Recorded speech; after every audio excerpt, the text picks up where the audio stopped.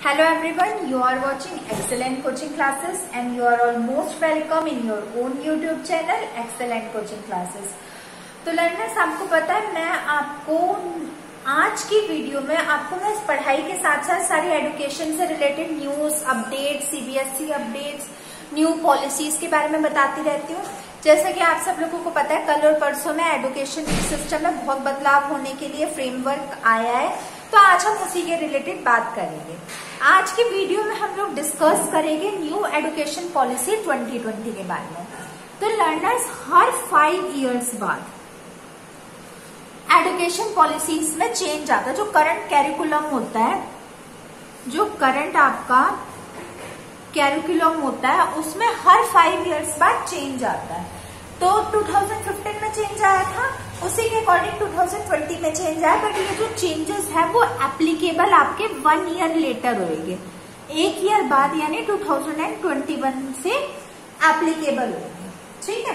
तो आज हम बात कर लेते हैं उन मुख्य पॉइंट के ऊपर जो नई शिक्षा नीति में न्यू एजुकेशन पॉलिसी में कल परसों बताए गए। पहली बार लर्नर से एक मैं आपसे रिक्वेस्ट करना चाहती हूँ, अगर अभी तक आपने मेरे चैनल को नहीं किया है सब्सक्राइब तो प्लीज़ मेरे चैनल को सब्सक्राइब करिए बेल आइकन को दबाइए, जिससे आप कोई भी न्यू नोटिफिकेशन मिस ना कर पाए। तो लर्नर्स पहला जो रूल आया है, पहले तो ये मतलब रूल नहीं है, ये एक आपकी बात है, जो हमारा एडुकेशन के HRD minister the human resource and development minister जिन्हें हम पहले एचआरडी मिनिस्टर कहते थे। अब एचआरडी मिनिस्टर की बजाय सेम पर्सन को हम एडुकेशन मिनिस्टर भी या एडुकेशन अथॉरिटी भी कहेंगे। ठीक है? ये कोई रिफॉर्म तो नहीं है, ये तो बस आपको एक, आपकी जर्नल नॉलेज को इंक्रीज करने के लिए मैं बता रही हूँ। तो पहला रिफॉर्म हम छोटी क्लासेस से शुरू होते हैं। फ़र्स्ट रिफॉर्म जो आपका new education policy according to 2020 आया है, वो ये है जो भी आपके स्टूडेंट्स हैं। बिलो फिफ्थ क्लास मतलब पाँच फिफ्थ क्लास से जो नीचे के स्टूडेंट्स हैं, उन्हें कंपलसरी मदर टंग में, या मदर टंग के अलावा आपकी रीजनल लैंग्वेज में भी कह सकते हैं in some places education provide की जाएगी। एडुकेशन विल बी प्रोवाइडेड तो हमारी मदर टंग कौन सी है? हिंदी और इसके अलावा बच्चों में जो फिफ्थ तक, सारी सीबीएसई बोर्ड में तो यही होता है, सारी इंग्लिश ही होती है इंग्लिश का इन्फ्लुएंस होता है। लेकिन अब से जो आपकी फिफ्थ क्लास तक के बच्चे हैं, यानी नर्सरी से लेकर फिफ्थ क्लास तक, उनको या तो हमारी mother tongue which is our mother tongue Hindi, या तो हिंदी में पढ़ाई करवाई जाएगी, या फिर कुछ रीजनल लैंग्वेजेस में। लाइक like सपोज़ करो अगर कोई पर्सन पंजाब में रह रहा है तो उनकी रीजनल लैंग्वेज पंजाबी है तो फिफ्थ तक के बच्चों के पास ऑप्शन होगा so that they can be able to learn in regional language also इससे क्या फ़ायदा होगा? इससे बच्चों को आजकल इंग्लिश के इतने एडवेंट में, इतने आने की वजह से बच्चे अपनी नेटिव लैंग्वेज और रीजनल लैंग्वेज को भूलते जा रहे हैं। तो इसमें नेटिव लैंग्वेज का भी प्रमोशन होगा और रीजनल लैंग्वेज का भी प्रमोशन होगा। तो फ़र्स्ट रिफॉर्म तो ये है। सेकंड जो रिफॉर्म है, वो ये है कि बच्चों को हमेशा, अभी तक, सारे सीबीएसई स्कूल्स में या कहीं पे भी स्टूडेंट्स को क्या मिलता था? रिपोर्ट कार्ड रिपोर्ट कार्ड मिलता था ना? आप कहते हो, आपका रिज़ल्ट है, आपका रिपोर्ट कार्ड है रिपोर्ट कार्ड लेके आओ रिपोर्ट कार्ड में आपके परसेंटेज लिखे जाते थे। इसी के साथ साथ आपकी परसेंटाइल आपकी रैंक आपके मार्क्स ये सारे लिखे जाते थे।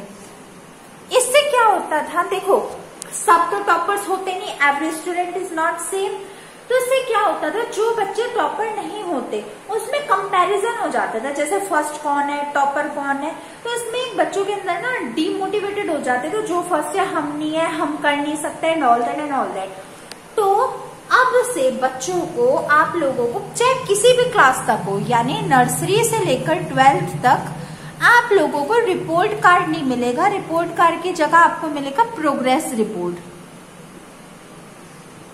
क्या मिलेगी आपको इसके बदले में? प्रोग्रेस रिपोर्ट अब प्रोग्रेस रिपोर्ट में क्या होगा? इसमें आपकी, एक पर्टिकुलर स्टूडेंट की ही प्रोग्रेस को दिखाएँगे। कि मतलब सपोज़ करो उसके एफए में इतने मार्क्स आए। आपके सपोज़ करो एक रोहन नाम का लड़का है तो उसके एफए में कितने मार्क्स आए? उसी बच्चे के एस ए वन में कितने मार्क्स आए? सेम बच्चे के एस ए सेकेंड में कितने मार्क्स आए? F A one two three four में कितने मार्क्स आए? तो इसमें सेम बच्चे के मार्क्स की प्रोग्रेस रिपोर्ट आपके पेरेंट्स को मिलेगी बट नेक्स्ट ईयर से। आपको रिपोर्ट कार्ड की बजाय अब प्रोग्रेस रिपोर्ट मिलेगी, ठीक है? फिर थर्ड रिफॉर्म क्या है? जो थर्ड रिफॉर्म आया है, इसके तहत या इसके अकॉर्डिंग वो आया आपके बोर्ड सिस्टम में। और एक बात जो मैंने आपको बताई है ना, ये रीजनल लैंग्वेज और मदर टंग में, ये आपकी वैसे तो फिफ्थ तक के लिए लेकिन स्कूलों की मर्ज़ी है, वो सिक्स सेवन्थ एट्थ के लिए भी, यानी फाइव प्लस थ्री जो कैरिकुलम है, उसको भी, उसके लिए भी वो ये चीज़ अप्लाई कर सकते हैं। ठीक है थर्ड रिफॉर्म है बोर्ड सिस्टम के अकॉर्डिंग जो बोर्ड होएगी, वो ट्वेल्थ के तो एज इट इज़ ही होएगी। इसमें कोई नो चेंज होगा। लेकिन जो आपका टेंथ का होगा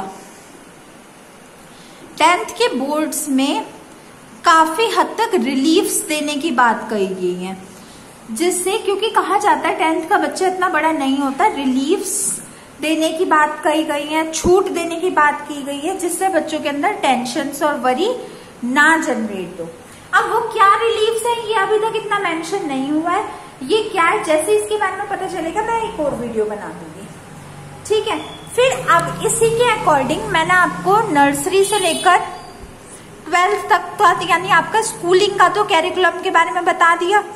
अब कैरिकुलम के बारे में बात कर लेते हैं कॉलेज लेवल की। यानी आपके आफ्टर ट्वेल्थ अभी तक क्या होता था? बिफोर एडुकेशन पॉलिसी 2020 मतलब 2020 के बिफोर क्या होता था और आफ्टर क्या होगा? मैं आपको एक्सप्लेन करती हूँ। बिफोर क्या होता था? अगर आप कोई भी फोर इयर्स का या आप थ्री इयर्स का कोई भी कोर्स कर रहे हो, या आप ग्रेजुएशन कर रहे हो, या आप बीटेक कर रहे हो बी कॉम कर रहे हो, या आप सपोज़ कर लीजिए एमबीबीएस कर रहे हो, कुछ भी आप कर रहे थे अभी तक, आपको उस कोर्स की जो रिक्वायर्ड ड्यूरेशन होती थी, जैसे अगर बीकॉम आपका थर्ड ईयर तीन सालों का है तो आपको तीन साल कंप्लीट करने पड़ते थे। अगर सपोज़ करो due to financial reason due to health issues किसी भी वजह से आपने वन ईयर कंप्लीट किया था, अभी तक की बात कर रही हूँ तो वो वन ईयर आपका वेस्ट हो जाता था। आपको कोई बीकॉम फ़र्स्ट ईयर यानी वन ईयर करने के बाद कोई जॉब थोड़ी ना देता है, था, अभी तक। कोई किसी ने बीकॉम आपका टू ईयर कर रखा है तो कोई जॉब थोड़ी ना देता था। When you complete whole three years of BCom तभी आपको कुछ आगे फर्दर आपका केस हो सकता था। Similar is the case of MBBS and similar is the case of BTech अगर आपने अपने कोर्स की रिक्वायर्ड ड्यूरेशन को कंप्लीट किया होता था, तभी आपको आगे जॉब मिलती थी। But according to new education policy 2020 इसके तहत इफ़ आपने किसी भी कोर्स का सिर्फ़ वन ईयर भी कंप्लीट कर लिया तो आफ्टर वन ईयर आपको एक सर्टिफिकेट मिलेगा। उसी पर्टिकुलर कोर्स का, जैसे अगर आपने बीकॉम कंप्लीट कर लिया वन ईयर तो आपको एक सर्टिफिकेट मिलेगा। सो दैट आप आगे कुछ तो कर सको। अगर आपने दो साल कंप्लीट कर लिए एक पर्टिकुलर कोर्स के तो आपको डिप्लोमा मिलेगा। एंड लेट इट बी अगर आपने थ्री ईयर फुल कंप्लीट कर लिया कोर्स को तो आपको मिल जाएगी उसकी डिग्री तो मतलब पहले आपको डिग्री पाने के लिए तीनों साल कंप्लीट करने ही करने पड़ते थे, वरना फ़र्स्ट टू सेकेंड ईयर आपके वेस्ट हो जाते थे। बट अब ऐसा कुछ भी नहीं है, आपको तीन साल कंप्लीट होने पे डिग्री मिलेगी, दो साल पे डिप्लोमा और एक साल पे सर्टिफिकेट एक बात। दूसरी बात, पहले जो लोग पीएचडी करना चाहते थे या रिसर्च वर्क में करना चाहते थे तो उनको एमफिल करना पड़ता था पहले। एमफिल रिसर्च के लिए होता था, फिर पीएचडी होती थी। बट अब एमफिल कट चुका है। एमफिल करने की कोई ज़रूरत नहीं, आप डायरेक्ट भी पीएचडी कर सकते हो। इसके अलावा, ये तो मैंने बीकॉम की बात करी, जो तीन साल के जो फोर इयर्स के कोर्स होते हैं, उसमें अगर आपने तीन ईयर कंप्लीट किए तो तो सेम ही पैटर्न होने का सर्टिफिकेट डिप्लोमा डिग्री अगर आपने फोर ईयर जैसे बीटेक हो गया फोर ईयर का, या आपका कोई भी और कोर्स होता है फोर ईयर का तो अगर आपने फोर इयर्स कंप्लीट कर लिए तो इसके बाद आपको थर्ड ईयर के बाद डिग्री मिल जाएगी फोर्थ ईयर के बाद आपको रिसर्च सर्टिफिकेट मिल जाएगा।